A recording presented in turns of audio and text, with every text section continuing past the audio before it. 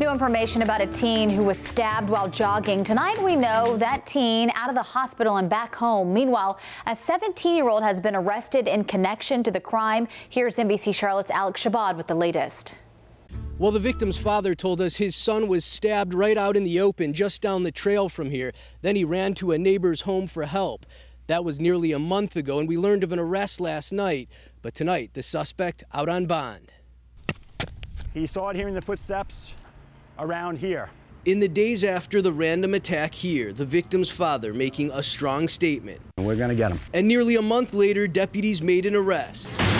17 year old Rider Walther accused of stabbing the 13 year old jogger who is on the cross country team.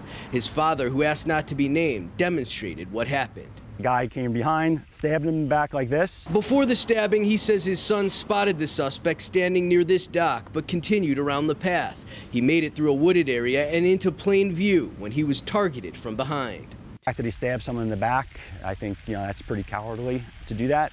Deputies say it took an exhaustive investigation to arrest Walther, who is a Marvin resident. According to investigators, this is likely him seen in video surveillance running from the scene. Meanwhile, the victim ran to this neighbor's house for help, where she called 911. Try to keep him talking. Um, he, you know, he was close to maybe passing out. And to have the fortitude to keep standing and keep running um, it's really, really amazing. Walther is now charged with assault with intent to kill, inflicting serious injury. He's also accused of damaging several properties with graffiti over the past few months. All said, a $53,000 bond did not hold him long in jail.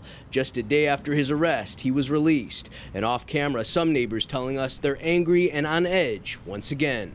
The victim's father told us he did not want to comment about the arrest. He did tell us his son is at home right now and they're hoping he'll be able to run again next week. In Union County, Alex Shabad, NBC Charlotte.